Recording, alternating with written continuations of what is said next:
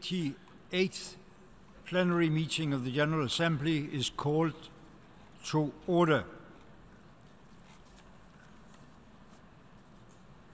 I shall now invite the, the, attention of the General Assembly to paragraph 21 of Resolution 70 140 of 17th of December 2015, calling for a, a special meeting in commemoration of the International Day of the Elimination of Racial Discrimination. The Assembly will recall that it's at its 80th plenary meeting on the 17th of December last year, it concluded its consideration on agenda item 70.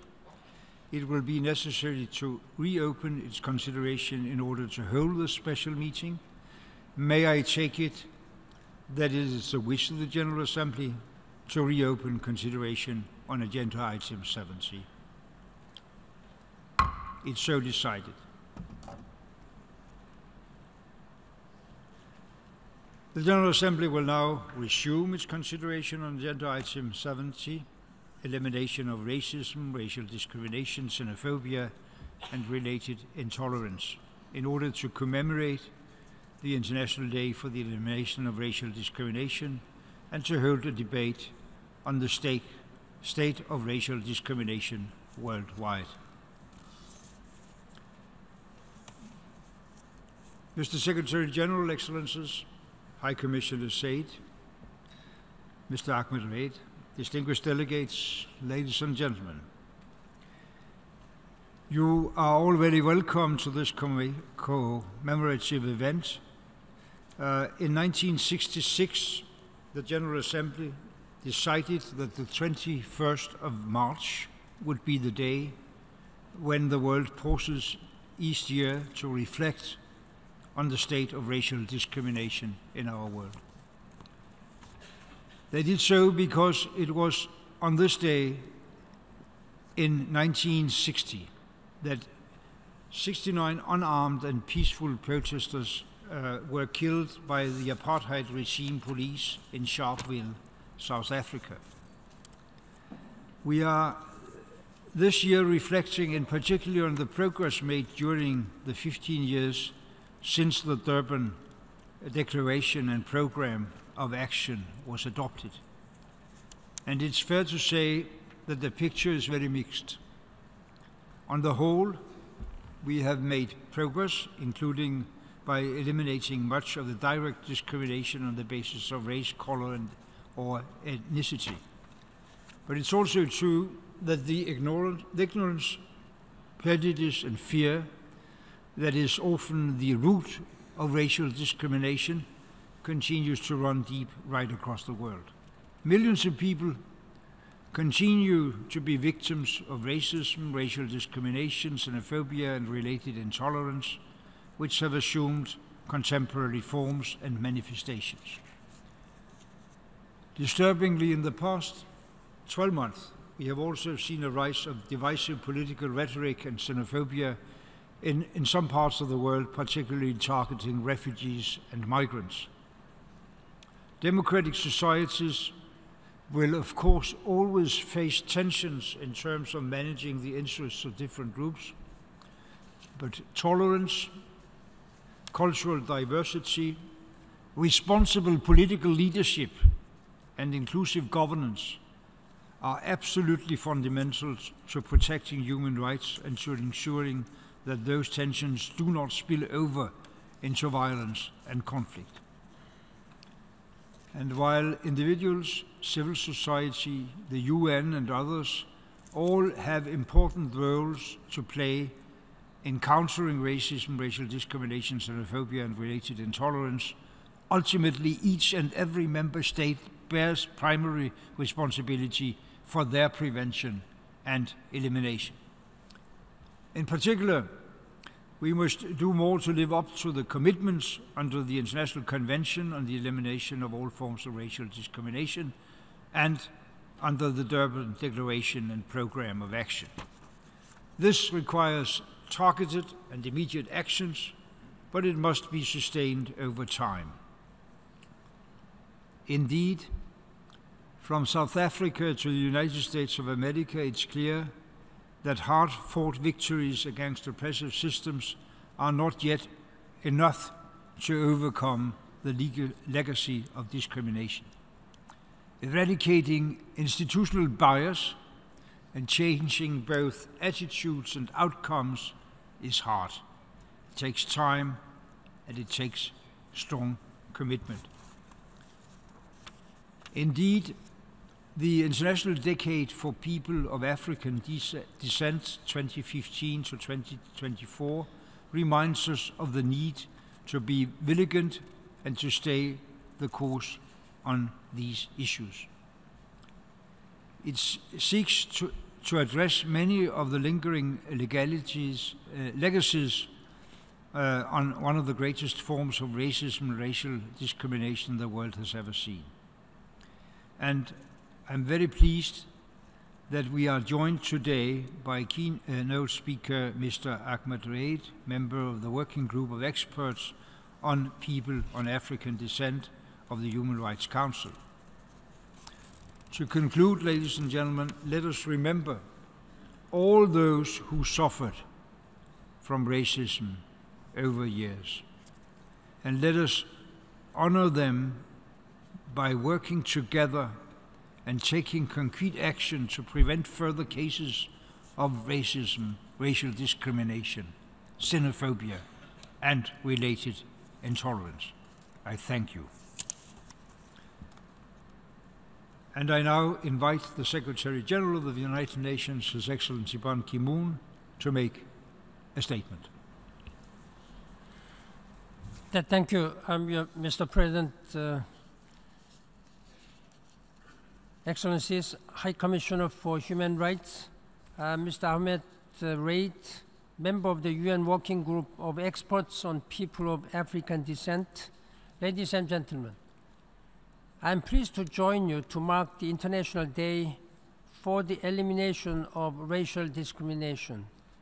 Let us recall that the date of this annual observance is the anniversary of the Sharpeville massacre of peaceful demonstrators in South Africa in 1960. I draw encouragement by how far we have come since that tragedy, but we have much distance still to travel in our work for equality for all. For this year's observance, we are commemorating the 15th anniversary of the Durban Declaration and the Program of Action. Adopted by consensus at the World Conference Against Racism, Racial Discrimination, Xenophobia, and Related Intolerance, these texts remain the most comprehensive framework for international, regional, and national actions against racism. The international community acknowledged in Durban that no country could claim to be free of racism this remains the case today. We have undoubtedly come a long way in ensuring equal rights and non-discrimination. Member states have adopted or amended legislation to guard against racial discrimination. An International Decade for People of African Descent was proclaimed by the General Assembly and will continue through the year 2024 civil society organizations worldwide working on racism are increasingly active and vocal. Yet the persistence of racism indicates that we have not yet done enough. I am deeply alarmed by a surge of intolerance, racist views, and hate-driven violence around the world. Racial profiling and violence against certain communities is on the rise economic hardship, and political opportunism are triggering increased hostility towards minorities. This is being manifested most directly in anti-refugee, anti-migrant, and in particular, anti-Muslim bigotry, attacks, and violence. Extreme right-wing political parties are fomenting divisiveness and dangerous myth. Even once centrist parties have hardened their views, once moderate countries are seeing xenophobia rise sharply, and once sober voices have exploited fears in a dangerous echo of the darkest chapters of the last century. All of this increase, increases the risk of societal fracture, instability, and conflict. In these tumultuous times, we must stand up for rights and dignity for all, and for diversity and pluralism. We must speak out against anti Semitism, anti Muslim bigotry, and other forms of hate. An assault on one minority community is an attack for all, on all. I am also concerned that the political will that existed 15 years ago is under threat. The collective determination that enabled such a far reaching agreement is being undermined by political expediency. The shared commitment to the universal values of the United Nations Charter is being tested. We must keep foremost in our minds the countless victims of racial discrimination. By implementing the Durban Agreement, we can uplift not only those who suffer most profoundly, but humanity as a whole. Non discrimination and equality are the very foundation of our universal human rights system. Let us unite to ensure dignity, justice, and development for all. Thank you, Mr. President. I thank the Secretary General of the United Nations for his statement. In accordance with General Assembly Resolution 70/140, uh, I now invite Mr. Zeid Ra'ad Al Hussein, United Nations High Commissioner for Human Rights, to make a statement.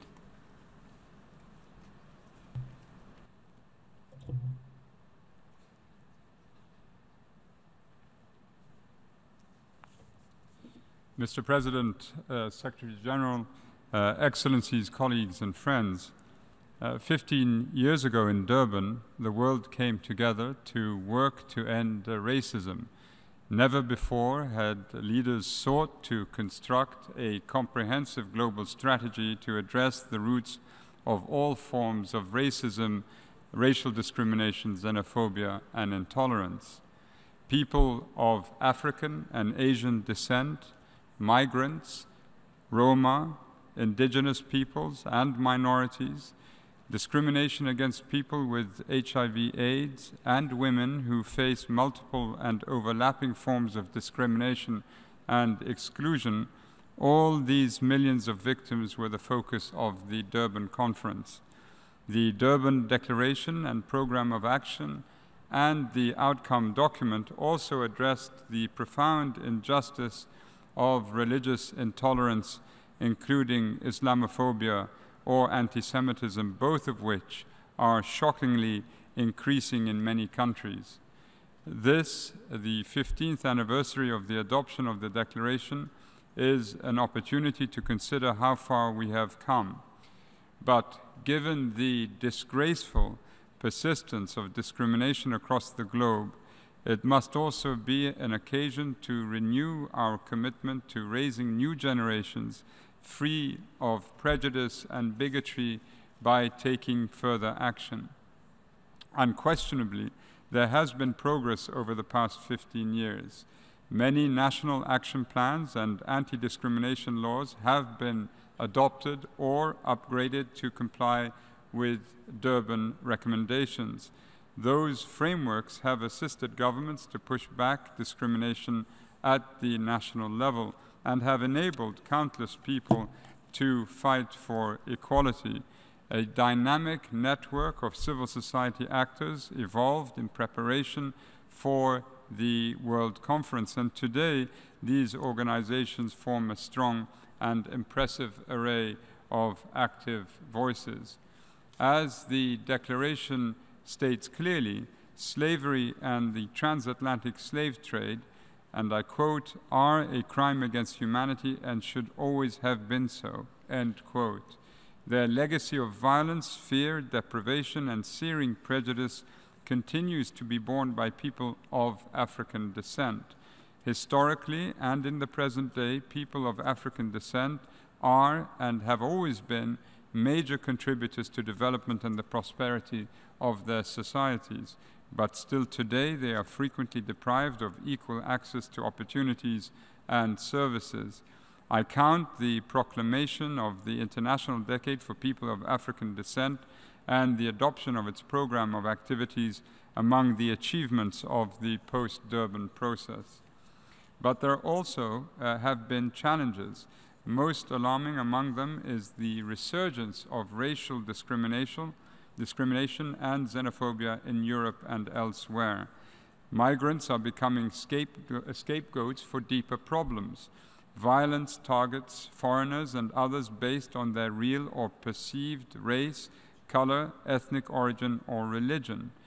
The archaic injustice of prejudice still stalks through modern life, generating daily humiliations and oppressions for individuals, deepening divisions between communities and holding back millions of people from realizing their rights. Now, more than ever, states must focus their attention on fulfilling their obligation to protect the most vulnerable sectors in society. We must be vigilant to ensure that the stress of factors such as rising unemployment is not displaced into racist harassment, abuse, discrimination, and attacks. We must not condone the manipulation of such sentiments for political gain or their manifestation in official policies. Millions of people around the world continue to suffer the injustice and indignity of racial discrimination every day. It is urgent that states honor the, the commitments made at Durban and their obligations under international human rights law, particularly the International uh, uh, sorry, International Convention on the Elimination of All Forms of Racial Discrimination, which has been ratified by 178 states. Human rights are universal and inalienable, indivisible, interdependent, and interrelated. They are universal because everyone is born with and possesses the same rights. They are indivisible and interdependent because all rights, political, civil, social, cultural, and economic, are equal in importance, and none can be fully enjoyed without the others. These rights apply to all of us equally, and when the human rights of one group are denied, that damages the dignity and equality of us all. I thank you, Mr. President. I thank the United Nations High Commissioner for Human Rights for his statement. I should now like to consult members uh, with a view to inviting Mr. Ahmed Reid, member of the Working Group of Experts on the People of African Descent of uh, the Human Rights Council, to make a statement uh, at this meeting in accordance with paragraph 21 of Resolution 70/140. Uh, if there is no objection, may I take it that it is the wish of the General Assembly, and without setting a precedent, to invite Mr. Ahmed Reid to make a statement. It is so decided. And uh, in accordance with the decision just taken, I now invite Mr. Ahmed Reid uh, to uh, address the General Assembly.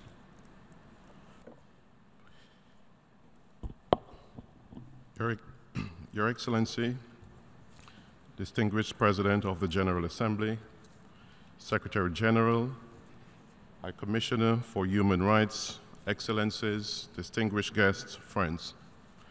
It is a great honor to be among you today.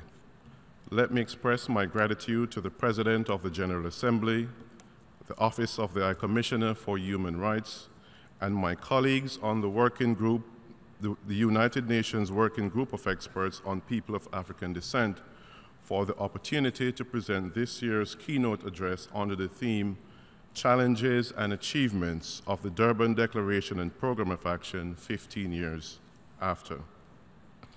Ever since the creation of the United Nations, The noble principle that all human beings are born free and equal in dignity and rights has been the cornerstone on which the international human rights system is based.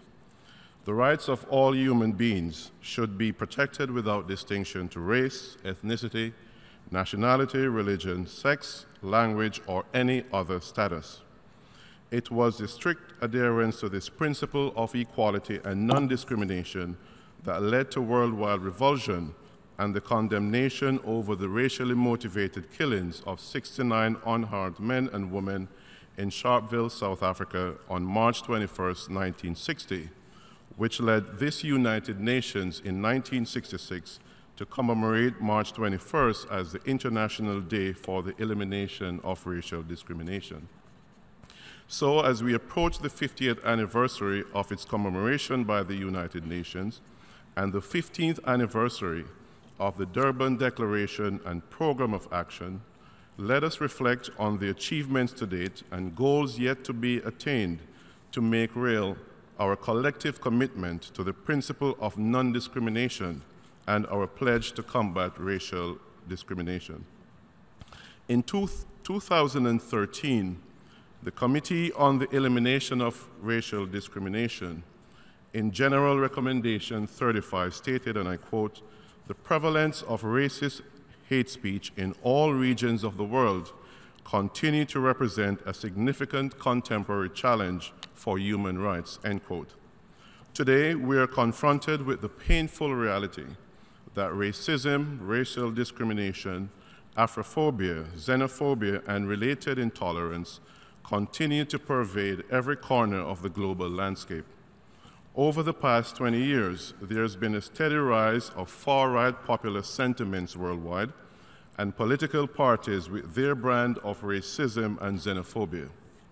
The global financial crisis, and more recently, the movement of a large number of refugees, have resulted in growing incidents of racial discrimination and xenophobia, resulting in strong anti immigration backlash and the scapegoating of migrants, racial prejudices and stereotypes, and violence.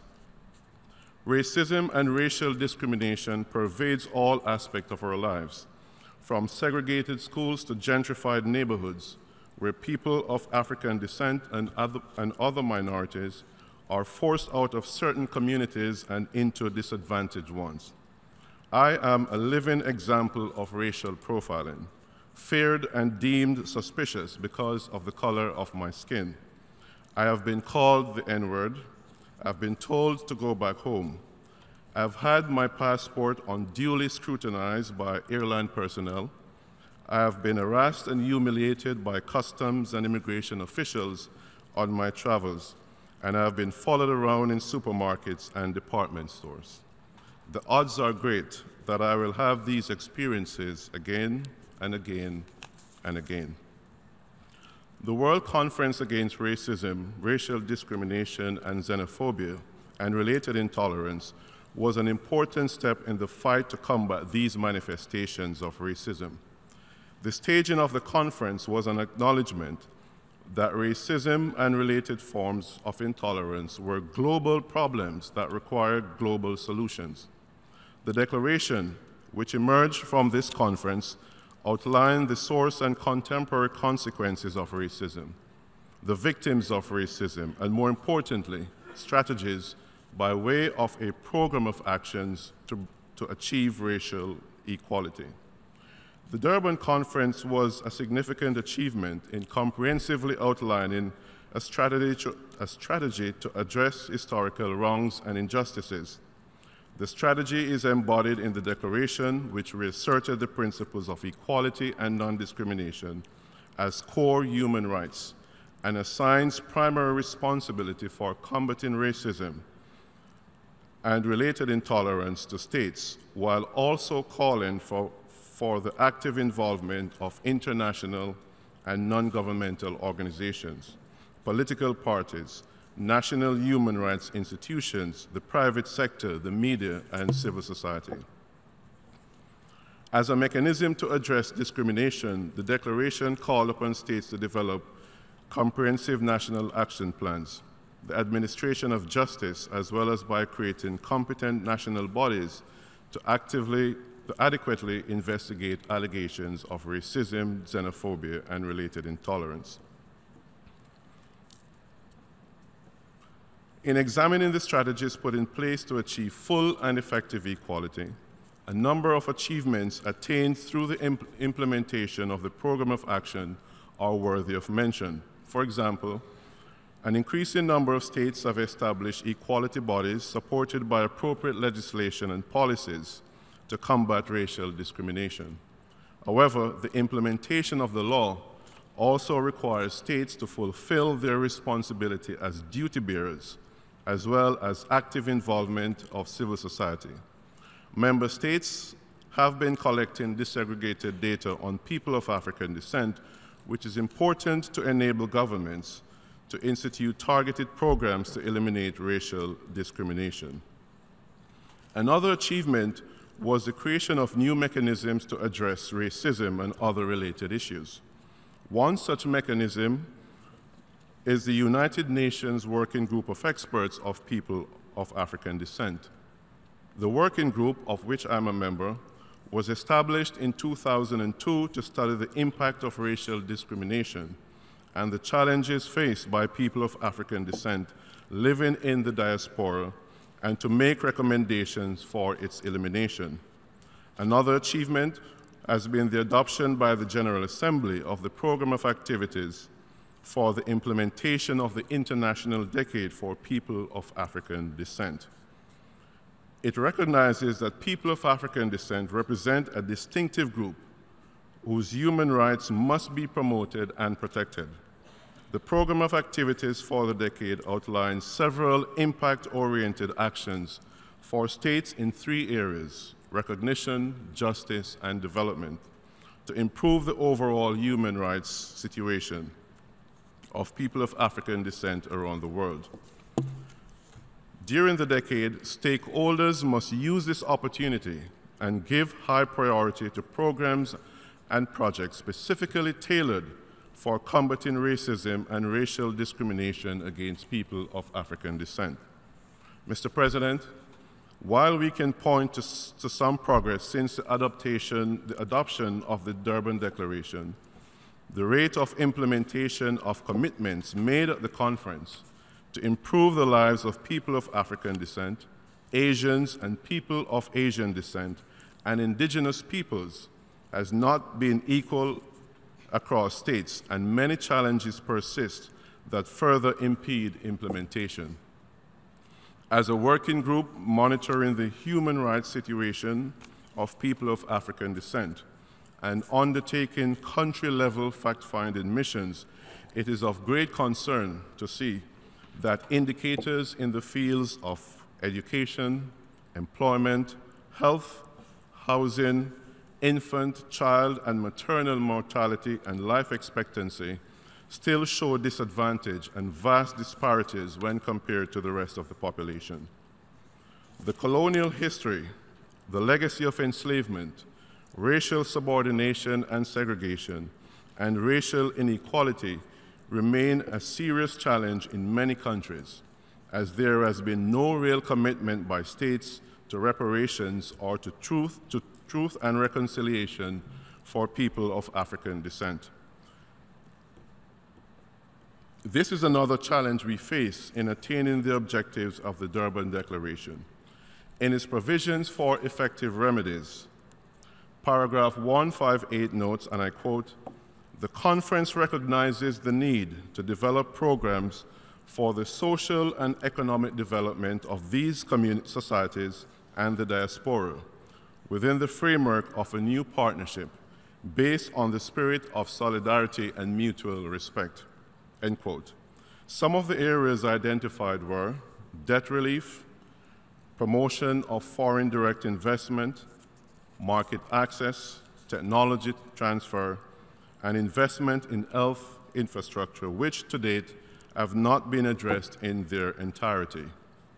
There is a clear connection between poverty and racism. It is not a coincidence that countries that have had a history of trade in enslaved Africans Their demographic structure is such that the poorest population group is disproportionately composed of racial or ethnic minorities. Faced with systemic discrimination and invisibility, people of African descent face an uphill battle in claiming their rights as rights holders, thus perpetuating multi generational poverty. As the development world embraces the 2030 Sustainable Development Agenda, which is grounded in international human rights standards and has the imperative of equality and non discrimination at its core, it provides a framework with which countries can integrate human rights into national priorities. The United Nations system and member states bear a tremendous responsibility to ensure that future generations may live in a world free of the scourge of racial discrimination and its manifestations in the interest of peace and justice. The commitment made in the Durban Declaration will only be words if member states fail to adopt them and to take positive actions to create equal opportunities for victims of racism, racial discrimination, xenophobia, and related intolerance. Their value depends wholly on our courage, will, and determination to honor them and give them meaning.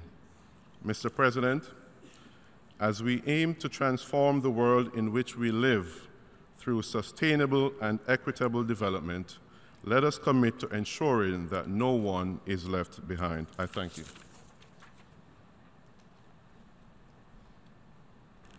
I thank Mr. Reid for his statement. And I now give the floor to the representative of the United Republic of Tanzania to speak on behalf of the African states.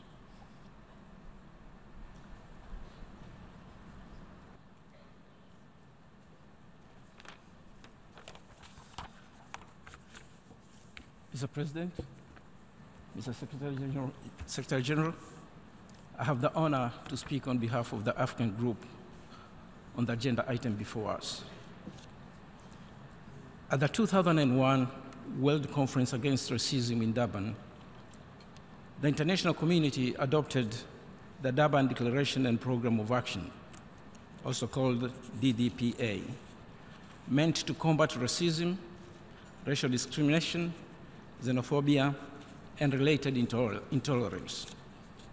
Today, we do not only commemorate DDPA, but we, we reaffirm and renew our firm global political will to full and effective implementation of the Durban Declaration and Program of Action and the outcome of its review of 2009. The DDPA remains the most comprehensive, action oriented global framework to combat racism, racial discrimination, xenophobia, and related intolerance. This commemoration provides a timely opportunity to assess the progress made in the implementation of the outcome of the conference after 15 years. It also offers opportunity to identify the obstacles and challenges encountered and, the find, and find appropriate solutions they require. The African group welcomes the progress made at the national, regional, and international levels in conformity with the obligations and commitments of Durban. We're encouraged by those governments that have adopted landmark and progressive legislation and administrative measures to effectively combat racism, racial discrimination, protection of the rights of migrants, refugees, asylum seekers, racial, national, or ethnic and ling- linguistic minorities, and to combat incitement to hatred based on religion, belief, or color. We recognize that colonialism and apartheid and political injustice has led to many of these intolerances. We are also conscious that Africans and people of African descent and the Asian ethnicities continue to be victims of this scourge and their consequences. The persistence of these structures and practices have been among the factors contributing to lasting social and economic inequalities in many parts of the world today. The African group still commends the General Assembly, the General Assembly's adoption of the decade for the people of African descent in 2015. Its theme, People of African Descent, Recognition, Justice, and Development, is to promote respect, protection, and the fulfillment of human rights and fundamental freedoms of peoples of African descent.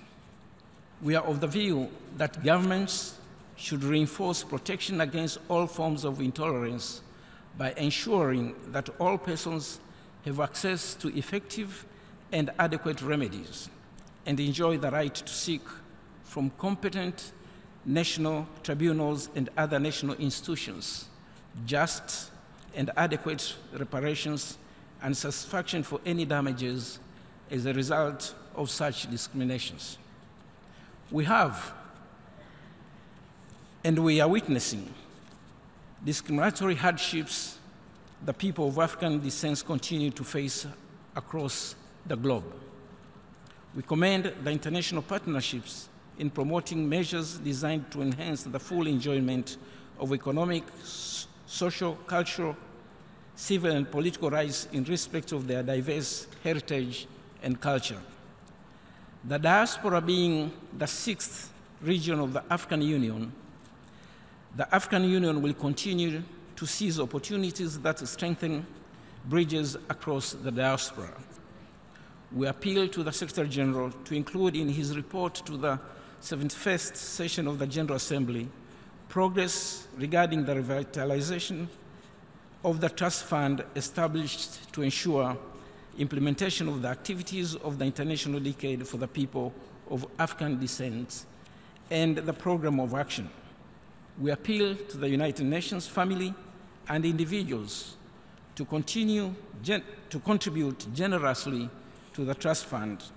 We request the Secretary General to undertake appropriate contacts and initiatives to encourage such contributions. The African group recognizes the positive contribu- contribution that the exercise of the right of freedom of expression of the media and other new information technologies, including the internet, can make to the fight against all forms of intolerances. We are, however, concerned about the misuse of information technologies as a, as a platform for promoting intolerance as well as perpetuating other forms of slavery, including child pornography and trafficking in persons. We are of the view that internet providers should develop and abide by codes of conduct to prevent trafficking and to, pro- to protect victims of trafficking, strengthening measures to prevent traf- trafficking of women and girls, and provide for their healing and rehabilitation, and address issues of international displacement. We urge the international community to support the implementation of the global action on trafficking of persons adopt- adopted by the General Assembly in 2010. We look forward to the holding of the high level meeting of the General Assembly on trafficking of persons in October 2017.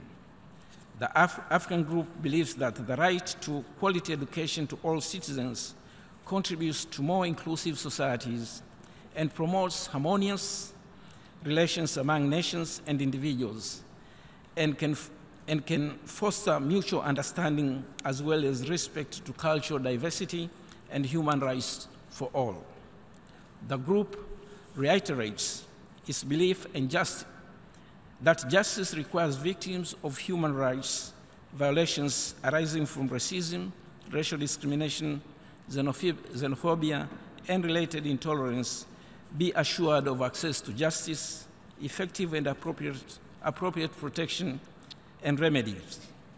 The group welcomes the decision of the General Assembly to erect the permanent memo- memorial in the premises of the United Nations to honor the victims of slavery and transatlantic slave, slave trade.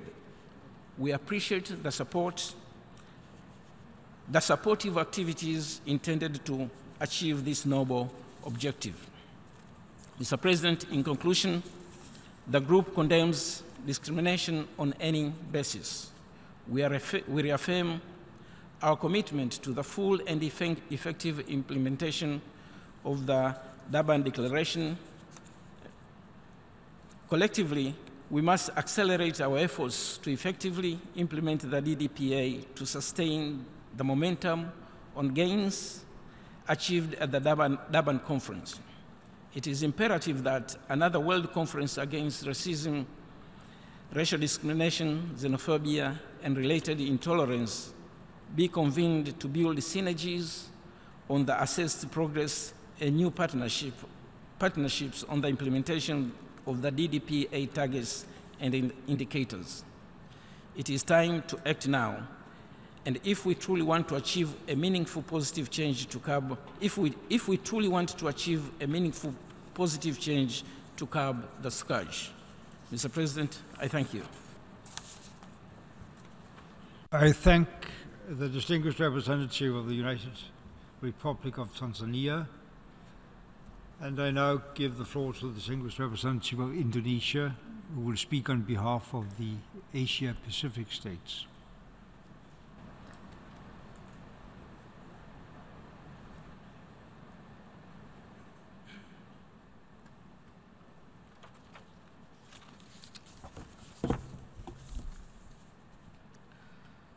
Mr. President, it is indeed an honor for me to speak on behalf of the member states of the Asia Pacific Group in this important event. We wish to begin by thanking you, Mr. President, for convening this plenary meeting to commemorate the, inter- the International Day for the Elimination of Racial Discrimination as proclaimed by the General Assembly in its resolution number 2142 of 26 October 1966. We would like also to thank Mr. Ahmed Reid for his statement earlier and commend the work of the United Nations Working Group of Experts on People of African Descent, which has contributed to the global fight against racial discrimination. Mr. President, the theme for this year's event focuses on the state of racial discrimination worldwide, especially after almost 15 years of the adoption of the Durban Declaration and Program of Action. In September 2001, at the historic World Conference Against Racism, Racial Discrimination, Xenophobia, and Related Intolerance, we gathered in South Africa to make the call to the people of the world that the global fight against racial prejudices should be done with the greatest determination and perseverance.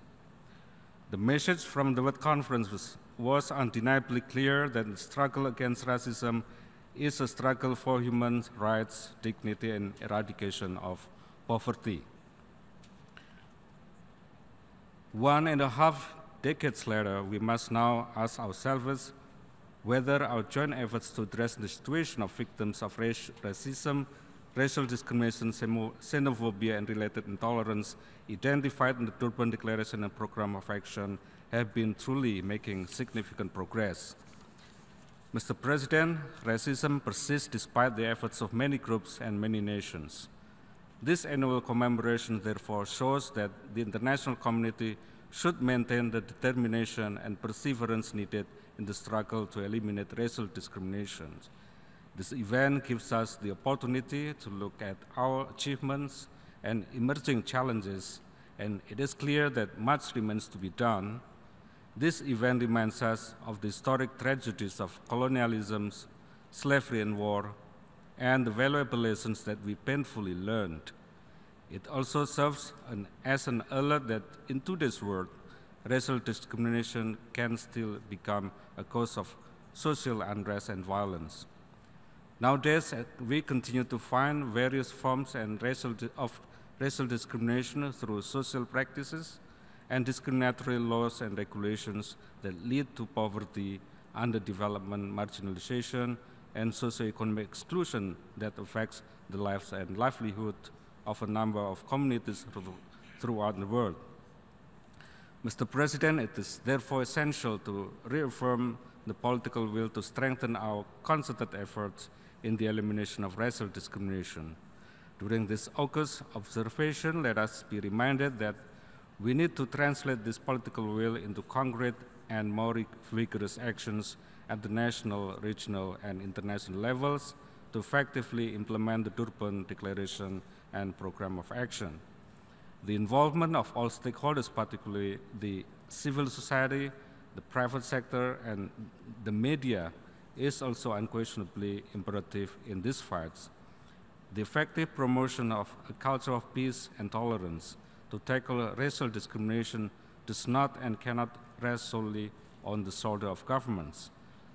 Mr. President, finally, on behalf of the Asia Pacific Group, allow me to once again proclaim and reaffirm our commitment and strong determination to ensure the fight against all forms and manifestation of racism, racial discrimination, xenophobia, and related intolerance remain a high priority in our respective countries and throughout the world. I thank you, Mr. President. I thank the distinguished representative of Indonesia. And I now give the floor to the distinguished representative of Azerbaijan, who will speak on behalf of the Eastern European states.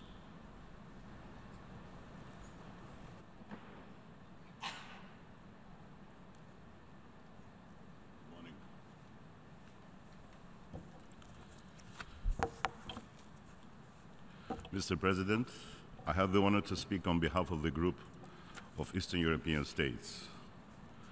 The group of Eastern European states welcomes the meeting of the General Assembly in commemoration of the International Day for the Elimination of Racial Discrimination, which is being held under the theme Challenges and Achievements of the Durban Declaration and Program of Action 15 years after.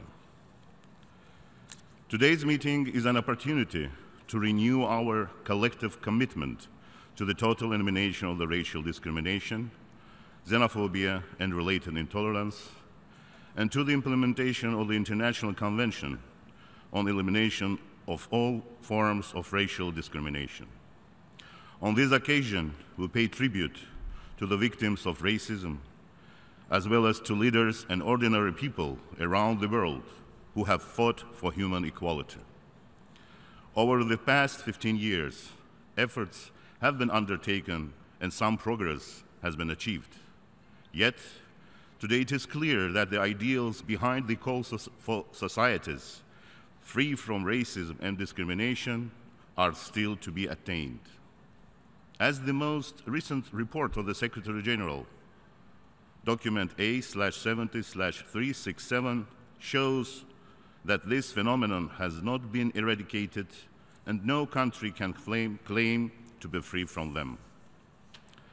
The group of Eastern European states remain concerned about the persistence of the scourge of racism and discrimination. This is a global challenge, and we must be united to fight it.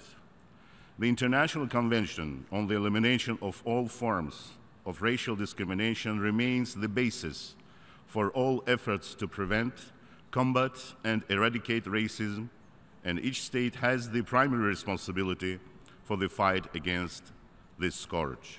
In this respect, we would like to reiterate the fundamental importance of ratifying and fully implementing the Convention, which should be a priority for all countries, and express our wish for its early universal ratification.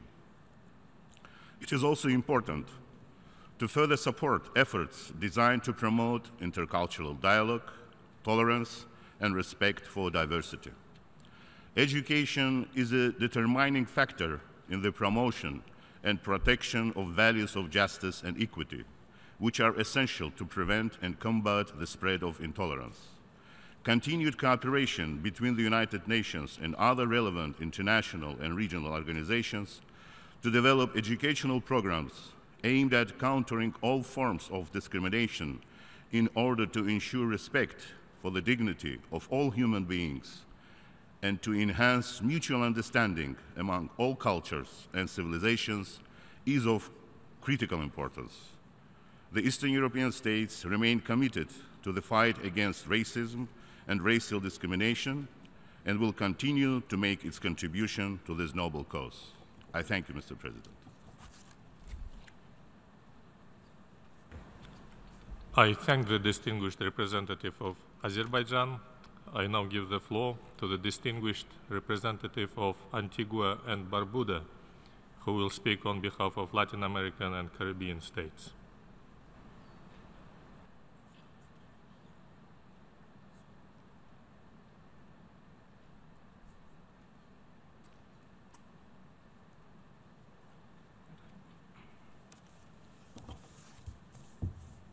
Thank you. Mr. President, I have the honor to speak on behalf of the group of Latin American and Caribbean states, GRULAC, on this occasion of the International Day for the Elimination of Racial Discrimination. the countries of GRULAC recognize both the challenges and opportunities presented by an increasingly globalized world in, relate, in relation to the struggles to eradicate racism, racial discrimination, xenophobia, and related intolerance. It is for this reason, Mr. President, the member states of GRULAC re- reiterate our unwavering commitment to the Durban Declaration of Action and this program of action. This year's theme, Challenges and Achievements of the Durban Declaration and, and Program of Action, and 15 years after the adoption of the Declaration, provides an opportunity for the international community and member states to review policies both within our, our relative or our related countries and internationally with a view in mind for to look at and close gaps that are persistent in racial and the racial barriers that confront these. A decade and a half after the adoption of the Declaration, we have seen some measurable progress, both by international com- communities and in addressing racism, racial discrimination, xenophobia, and related intolerance. However, Mr. President, decisive elements of racism, racial discrimination, xenophobia, and related intolerance are reoccurring in today's world in various forms, often associated with the consequences of challenging gains made in social, economic conditions, limiting limited opportunities, unemployment, and poverty.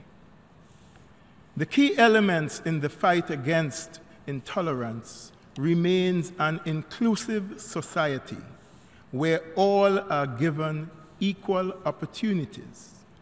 The principles of human rights are taught and upheld, and a greater awareness of, and remembrance of past mistakes and atrocities are known. Mr. President, it would be remiss of my delegation if I do not mention one of the most significant achievements of the Durban Declaration and its program of action in its assertion that slavery and slave trade are crimes against humanity.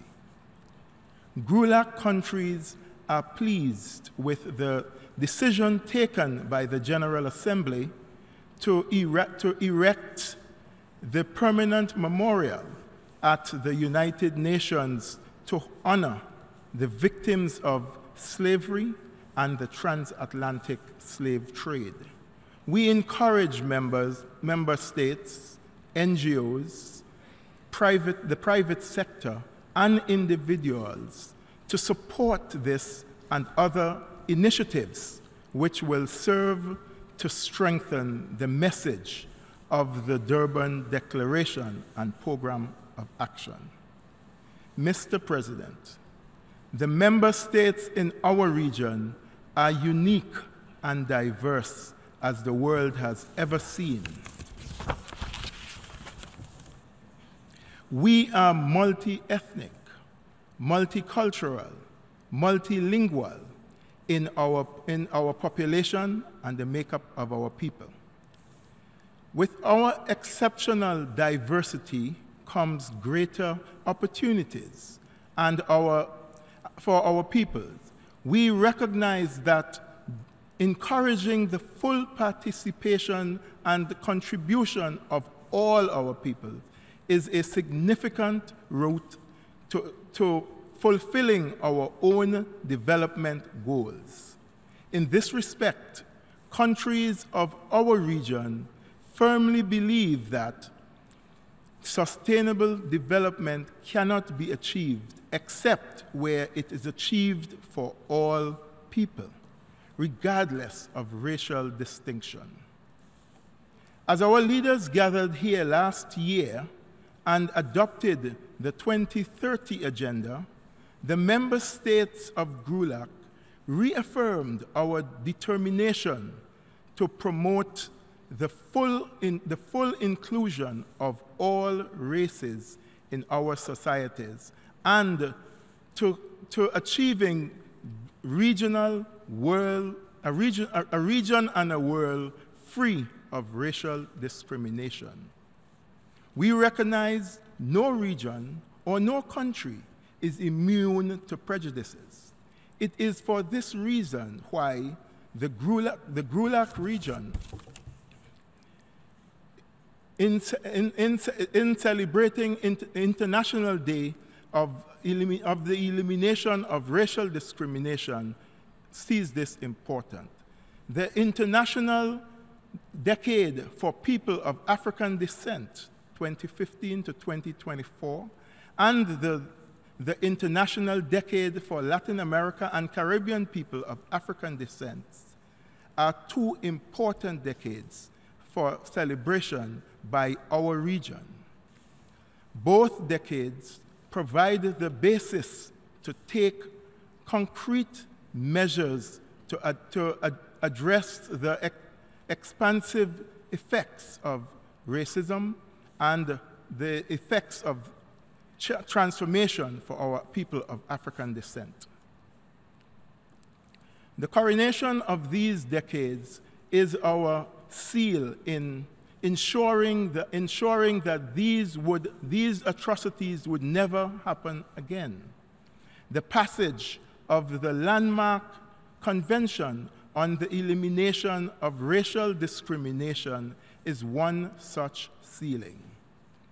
In order to continue moving forward, we as member states must move beyond eloquent speeches and continue to define concrete areas in eliminating the scourge of discrimination and its adherence to achieving um, political, economic, political, economic, and social inclusion. Mr. President, in closing this statement, I must remind us of the need for member states to continue to heighten awareness of the of the harmful effects of racism and, the, and, the commit, and our commitment of, of leadership in promoting racial justice, understanding, respect, equality, and diversity. I thank you. I thank the distinguished permanent representative of Antigua and Barbuda I now give the floor to the distinguished permanent representative of Luxembourg, who will speak on behalf of Western European and other states.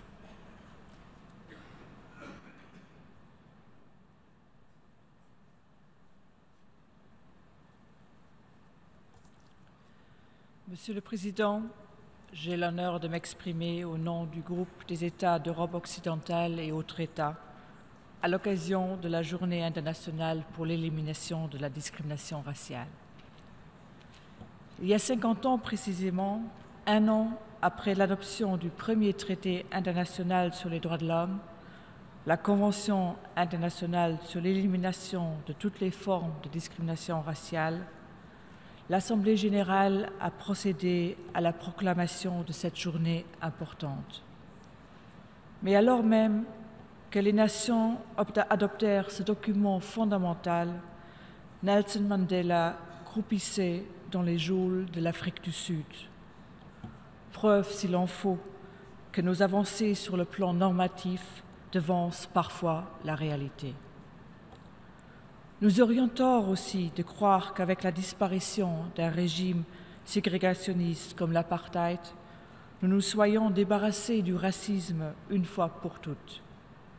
La journée internationale pour l'élimination de la discrimination raciale nous permet justement de réaffirmer régulièrement notre engagement en faveur d'un monde juste, basé sur la conviction que tous les êtres humains sont égaux en dignité et en droit, et de rester vigilants face aux résurgences de la discrimination raciale qui peut prendre de nombreux visages. Nous saluons la mémoire de toutes les victimes du racisme, de la discrimination raciale, de la xénophobie et de l'intolérance qui est, qui est associée. Monsieur le Président, la Convention internationale sur l'élimination de toutes les formes de discrimination raciale garde toute sa pertinence. Sa ratification quasi universelle lui confère une indéniable autorité en la matière. Les experts indépendants du Comité pour l'élimination de la discrimination raciale contribuent à son respect en assurant le suivi de sa mise en œuvre et en assistant les États dans l'élaboration de politiques visant à lutter contre le racisme et la discrimination.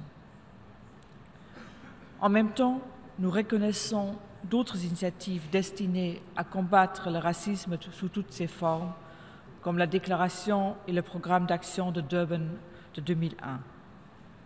Nous reconnaissons l'importance de la prévention et de l'action concertée, notamment dans le domaine de l'éducation, et nous reconnaissons que l'accent mis sur les mesures pratiques et concrètes peut contribuer à l'élimination du racisme, de la discrimination raciale, de la xénophobie et de l'intolérance qui est associée. Monsieur le Président, 50 ans après l'adoption de la Convention internationale sur l'élimination de toutes les formes de discrimination raciale et 15 ans après la déclaration et du programme d'action de Durban, il est indéniable que des progrès ont été réalisés. Mais il, est indéniable également que de nombreux obstacles doivent encore être surmontés. En cette journée internationale pour l'élimination de la discrimination raciale, sachons tirer les leçons de l'histoire et des erreurs commises. Et ne commettons pas celle de croire que l'histoire ne peut pas se répéter. Restons tous vigilants. Je vous remercie de votre attention. I thank the distinguished permanent representative of Luxembourg I now give the floor to the distinguished representative of Kazakhstan.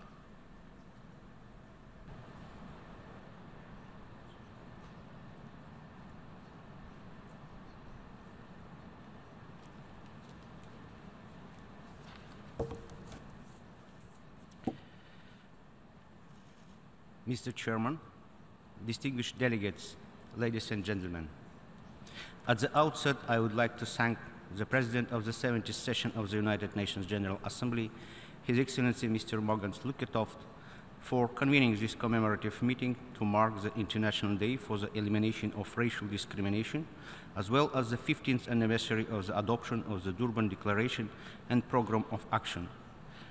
Let me also thank the Secretary General of the United Nations, His Excellency Mr. Ban Ki-moon, the High Commissioner for Human Rights, His Excellency Mr. Zeid Ra'ad Al Hussein, and keynote speaker, Mr. Ahmed Reid, for the insightful statements.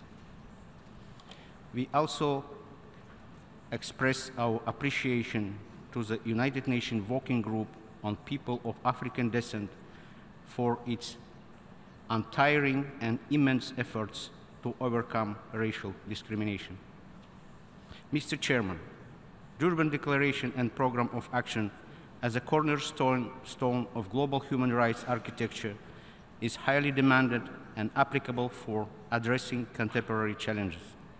In the ambience of the protracted armed conflicts and the following refugee crisis, it is vital issue to prioritize a struggle against racial discrimination and xenophobia. A human rights-based approach is to mitigate negative crisis-related hardships through integration of refugees rather than heightening tensions in society through segregation and discrimination.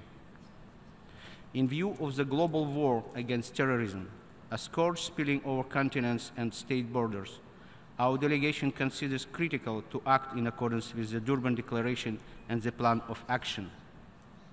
Law enforcement and providing security should go along with respect and protection of human rights. Racist attitudes and hate speech have also deployed social media and internet platforms. Our delegation deems crucial to appeal to civil and business society in the quest to exclude internet from being a vehicle for spreading hostile and volatile attitudes on basis of nationality, religion, ethnicity, or race. The only way to surmount discrimination and related intolerance is to combine efforts of international and national institutions, social society, and businesses. International community has tools and experience to tackle discrimination and intolerance, and we call for a strong political will and financial support to bridge a gap between normative documents and their practical implementation. Mr. Chairman, since independence, Kazakhstan has declared to the whole world our policy of peace, trust, and cooperation based on interethnic and interreligious peace and harmony. As President Nursultan Nazarbayev said, for us, the principle of tolerance is not only a norm of political culture, but rather one of the key principles of the statehood, which we decisively support and strengthen. Ethnic, religious, cultural, and linguistic diversity is our precious wealth. We have managed to turn the historically inherited polyconfessional society into our strategic advantage. As a state party to the convention, my country is deeply committed to combat racism, racial discrimination, xenophobia, and related intolerance. Kazakhstan is among the 57 states which have signed the optional declaration recognizing the competence of the Committee on the Elimination of Racial Discrimination to consider complaints from individuals or groups who claim their rights have been violated. We uphold our commitments under the Convention through a robust framework of laws and programs enforced at the national and local levels. Constitution of Kazakhstan enshrines the principles of equality and expressly prohibits discrimination of any form. The various ethnic groups are engaged in nation building along with ethnic Kazakhs and enjoy the highest civil and social status, not as national minorities, but as citizens with full civil and political rights. Kazakhstan has established an effective system that ensures interaction and equal partnership between the state and civil society, the main mechanism of which is the Assembly of People of Kazakhstan, a unique constitutional authority on issues of interethnic and cultural harmony. The country has a doctrine of national unity to strengthen interethnic mutual respect. The Congress of Leaders of World and Traditional Religion has made an important contribution to the consolidation of interethnic and interreligious accord in Kazakhstan. This forum has received international recognition as an effective dialogue platform for the promotion of peace and harmony on the planet. Kazakhstan's model of interethnic and interreligious tolerance has been highly commended by the United Nations and regional organizations such as OSCE, CICA, CIS, and others. Mr. Chairman, Kazakhstan believes that the United Nations must continue to address the issues of race, racism, xenophobia, and related intolerance, and thus uphold human dignity for all. Kazakhstan, reaffirming its commitment to the Durban Declaration and the Program of Action, intends to continue to make every effort for the benefit of dialogue among civilizations and always stands ready to combat racism and related intolerance at all levels and throughout the world, as well as to honor and preserve the memory of millions of lives taken tragically. I thank you, Mr. Chairman. I thank the distinguished representative of Kazakhstan, and I now give the floor to the distinguished representative of South Africa.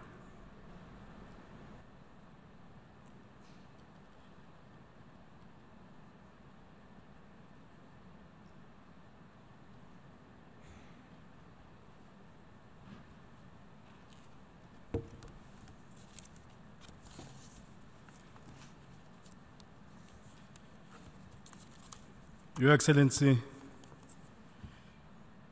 the PGA, Your Excellency, the SG of the UN, Mr. Ban Ki-moon, Excellencies, distinguished delegations. Mr. President, South Africa welcomes the convening of this commemorative event to mark the International Day for the Elimination of Racial Discrimination. 2016 marks 15 years after South Africa hosted the landmark and historic World Conference Against Racism, Racial Discrimination, Xenophobia and Related Intolerances, the WACA, and the adoption of the Durban Declaration and Program of Action, the DDPA, which remains the only instructive outcome document of a major conference prescribing measures and remedies for the elimination of all the scourges of racism as well as the atonement of historic injustices. In the period following the WACA, many achievements have been registered, particularly in Geneva, in the creation of the Durban follow up mechanisms, which ensured that the anti racism agenda is profiled and visible in the UN and human rights system. In addition to these mechanisms, the following key achievements need to be highlighted. First, the significant proclamation and subsequent launch of the International Decade for People of African Descent in the Diaspora for 2015 to 2024.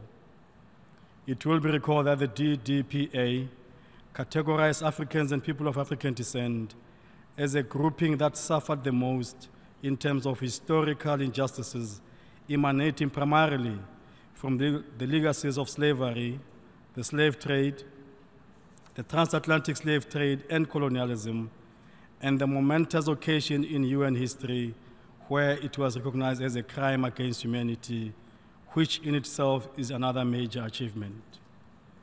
Secondly, the commendable work undertaken by the follow up mechanisms to DDPA, namely the working group of experts on people of African, African descent in developing the comprehensive program of action for the decade of people of African descent and their collaborative effort, together with the Intergovernmental Working Group on the effective implementation of the DDPA on the development of the program of activities for the implementation of the decade. And thirdly, the unveiling of the monument of the Ark of Remembrance in memory of the victims of the transatlantic slave trade and to honor their contribution or the contribution they made. Also, the inclusion of the WCAR of 2001 in the 20 major achievements of the Office of the High Commissioner since the adoption of the Vienna Declaration and Program of Action are further significant steps taken by the UN in its efforts towards the acknowledgement of the terrible suffering faced by the victims. Mr. President, regrettably, 15 years on, there remains a lot that still requires to be addressed to restore the human dignity and equality to the millions of victims who suffered and continue to suffer the terrible scourges of racism, racial discrimination, xenophobia, and related intolerance, which continue to haunt the world today. Despite efforts, we have not yet attained a number of key objectives which require the utmost attention of the international community. There remains an imperative need to end contemporary forms of racism, racial discrimination, xenophobia, and related intolerance, which was the rationale behind convening the WCAR in 2001. This should be done by filling the gaps that exist within international human rights law through the creation of new normative standards, namely the elaboration of complementary standards to the International Convention on the Elimination of All Forms of Racial Discrimination, the ICERD, which addresses xenophobia, Islamophobia, anti-Semitism, and incitement to hatred. The perennial lack of progress in this area has continued to negatively affect our fight in combating racism and racial discrimination. The establishment of a racial equality index on the situation of people of African descent in terms of their socio-economic development is still to be realized, which will serve as an important tool for identifying the key causes and manifestations of racial discrimination. Mr. President, it is regrettable that there remains many member states who have reservations regarding key articles of the ICERD, namely Article 4. My delegation wishes to put it on record that these reservations continue to, neg- to negate the essence of the instrument and defeats its core objectives and purposes. Furthermore, South Africa looks forward to the establishment of the Permanent Forum on People of African Descent and to positive steps taken towards the reopening and revitalizing of the Trust Fund for the program for the decade for action to combat racism and racial discrimination. We believe this will provide for the successful implementation of the activities of the International Decade for People of African Descent, the Forum, and beyond. In closing, Mr. President, this commemorative event and the 15th year anniversary of the WCAR and the DDPA presents an opportune moment for the world to unite and strengthen our efforts towards combating and eradicating all forms and contemporary manifestations of racism, racial discrimination, xenophobia, and related intolerances, which has for far too long affected the victims. As we remember the Sharpeville massacre on 69 unarmed people on March 21, 1960, in South Africa, we call on nations of the world to use the opportunity of this International Day to restore human dignity. I thank you, Mr. President. I thank the distinguished representative of South Africa. I now give the floor to the distinguished representative of the Netherlands.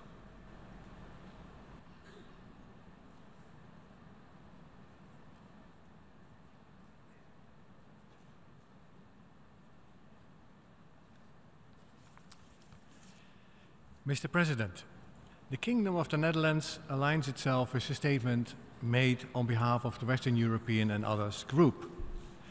Today, we mark the International Day for the Elimination of Racial Discrimination. We commemorate all lives worldwide of people who fought against racial discrimination because of the desire for democracy and equal human rights. The Durban Declaration and Programme of Action provide us with a series of tools to tackle the scourge of racism. We must all work to give practical effect at national, regional, and international levels to the commitments we undertook at Durban in 2001. Let me reiterate in this regard the strong commitment of the Kingdom of the Netherlands in the fight against racism, racial discrimination, xenophobia, and related intolerance. Everyone living and residing in the Kingdom of the Netherlands is protected by law from discrimination. The ban on discrimination is enshrined in our constitution. The Netherlands recognizes that a vigorous approach to preventing and combating all forms and manifestations of intolerance and racism is needed. This includes not only effective legal responses, but also preventive measures that promote social inclusion, acceptance, and equality for all members of society. The Dutch government works hard to combat discrimination in collaboration with the business community, civil society organizations, and individuals, as discrimination is a shared concern and imposes a shared responsibility. Last year, the Netherlands government has adopted a national guidance note for the implementation of the International Decade for People of African Descent. Dutch activities during the decade will serve to step up measures to tackle racism in the Netherlands in line with the new National Interministerial Action Plan Against Discrimination that is currently being developed.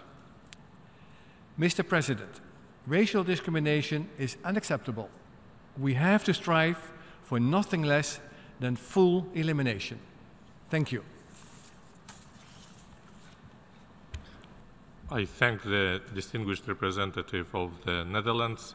I now give the floor to the distinguished permanent representative of Bangladesh.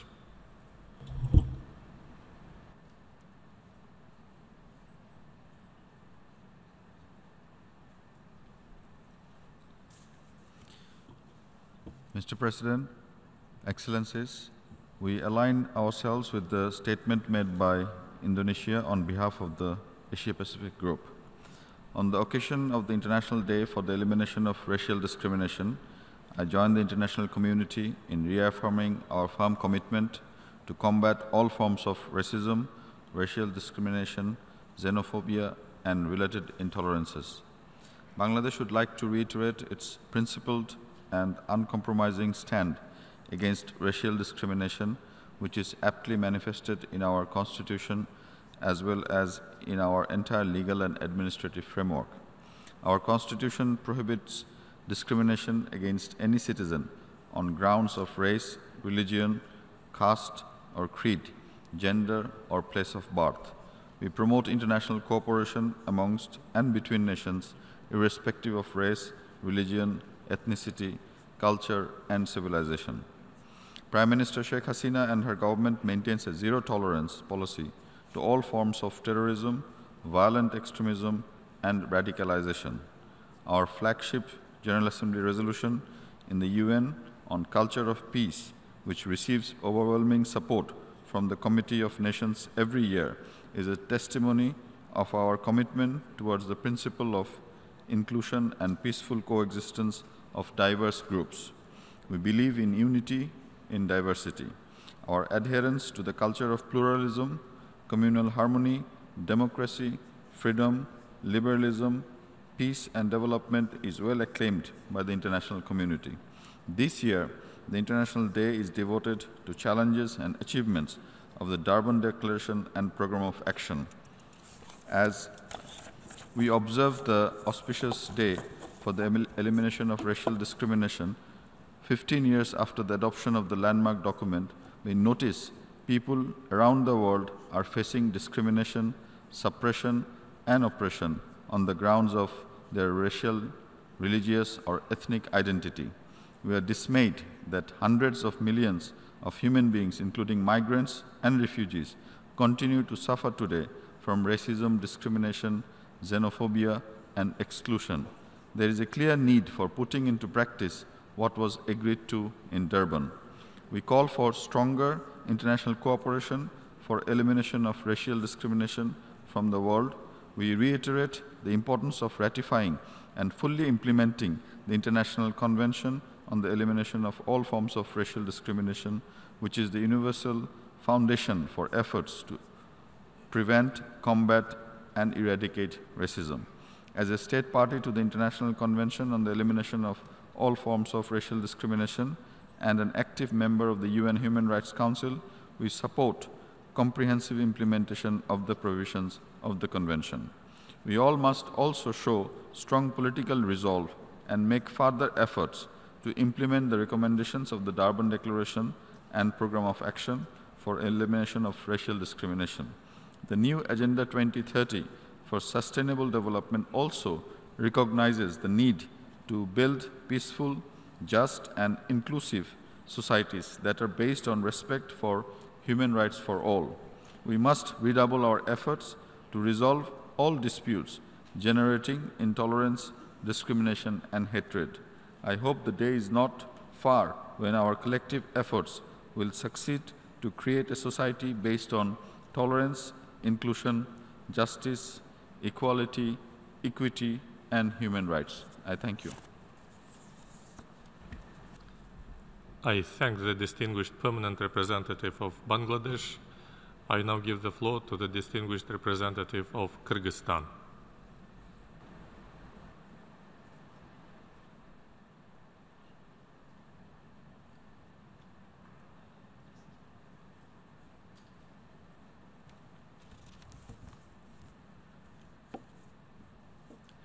Господин председатель, расовое, этническое, религиозное и культурное разнообразие делает наш мир более многогранным. Кыргызстан выступает за консолидацию усилий международного сообщества в борьбе с негативными явлениями расовой дискриминации, ксенофобии и связанной с ними нетерпимости. В этой связи особую обеспокоенность вызывает рост числа актов насилия по расовым мотивам и все более частым агрессивным заявлениям в общественной сфере – вызваны в немалой степени массовыми миграционными процессами, а, происходящими в последний год в связи с событиями на Ближнем Востоке и Африке. Расизм, дискриминация и нетерпимость являются глобальной проблемой, которая должна беспокоить всех. Сегодня эти нарушения относятся к числу важнейших проблем в области прав человека.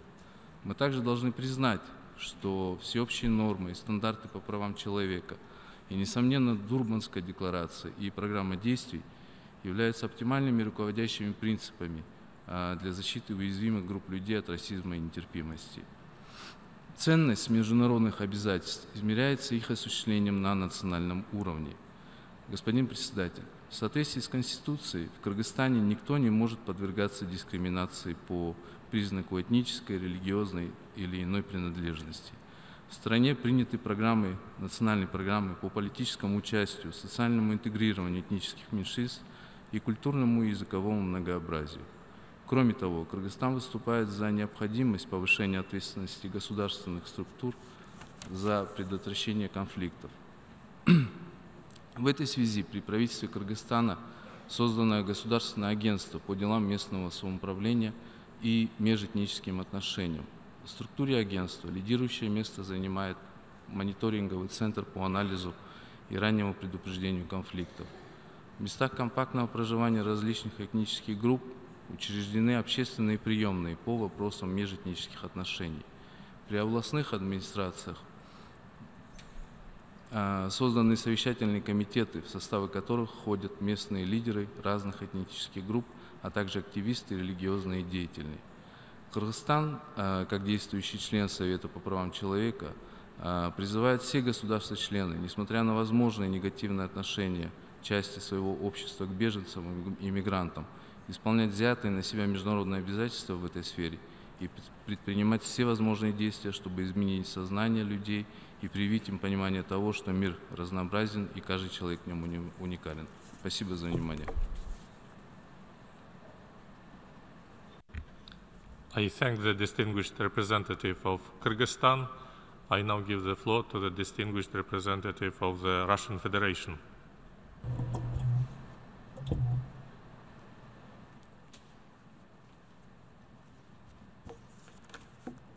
Господин председатель, мы поддерживаем то внимание, которое уделяется в Организации Объединенных Наций вопросам борьбы с расизмом и расовой дискриминацией. К сожалению, и сегодня этническая и религиозная нетерпимость, ксенофобия и межэтническая напряженность не преодолены. Их заложниками становятся национальные меньшинства, представители которых наиболее часто сталкиваются с различными формами дискриминации. Ориентиром для государств при разработке программ в области противодействия этим явлениям остаются Дурбанская декларация и программа действий. Сегодняшнее заседание является хорошей возможностью для международного сообщества – подтвердить принципиальное неприятие любых проявлений расизма и нетерпимости. Решения Дурбана дались непросто, но они вселили во многих надежду, что расизм может быть преодолен. Господин председатель, Российская Федерация последовательно выступает за поощрение и защиту прав человека без каких бы то ни было различий по признаку расы, национальности или этнической принадлежности, религии и языка. В нашей стране проживают представители более 180 этнических групп, что придает особое значение задаче развития межэтнического диалога. Важной составляющей этого процесса является кропотливая работа на национальном уровне по созданию и воспитанию толерантного общества, основанного на принципах равенства и культурного многообразия. Одним из наших приоритетов в области противодействия расизму, включая его современные формы, является сохранение памяти о пережитых страданиях и потерях в ходе Второй мировой войны, ставших следствием преступной идеологии нацизма, а также реализация соответствующих образовательных программ. Празднование в прошлом году 70-летия Победы во Второй мировой войне еще раз напомнило международному сообществу о тех неисчислимых бедах, которые принесли человечеству идеи расового превосходства. Вновь высветило значение Нюрнбергского трибунала, оказавшего ключевое влияние на становление международного режима прав человека. К сожалению, случаи откровенного попустительства в отношении последователей нацизма не прекращаются и сегодня. Необходимо поставить надежный барьер на пути распространения идей нетерпимости, расового, национального или религиозного превосходства – Равноправное международное сотрудничество, взаимное уважение, сохранение культурного многообразия, открытый и конструктивный диалог – вот рецепт искоренения и предупреждения расизма и расовой дискриминации. Руководствуясь этими целями, наша делегация при растущем межрегиональном соавторстве ежегодно инициирует одобрение Генеральной Ассамблеи резолюции «Борьба против героизации нацизма и других видов практики», которые способствуют эскалации современных форм расизма – расовой дискриминации, ксенофобии и связанной с ними нетерпимости. Мы убеждены, что ее принятие вносит реальный вклад в дело искоренения этих достойных, к сожалению, проявлений и надеемся на широкую поддержку этой инициативы в ходе предстоящей 71-й сессии Генеральной Ассамблеи. Господин председатель, для искоренения расизма и ксенофобии необходима политическая воля и последовательная работа всего международного сообщества. Мы призываем к объединению усилий для достижения этой не теряющей своей актуальности цели. Я благодарю вас. I thank the distinguished representative of the Russian Federation. Distinguished delegates, we have heard the last speaker in this commemorative meeting. May I take it that it is the wish of the General Assembly to conclude its consideration of agenda item 70. It is so decided. The meeting is adjourned.